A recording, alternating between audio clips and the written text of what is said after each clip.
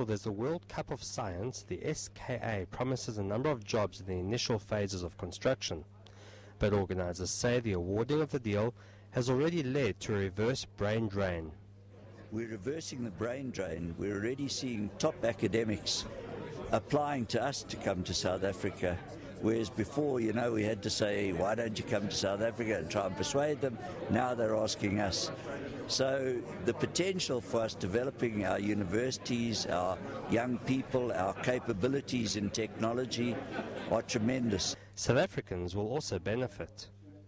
We've already begun uh, reaching out to schools, to colleges, and to universities to encourage uh, young people to take an interest in studying uh, science and mathematics, and also to introduce them to uh, information communication technologies, because these are very important in this area uh, of science.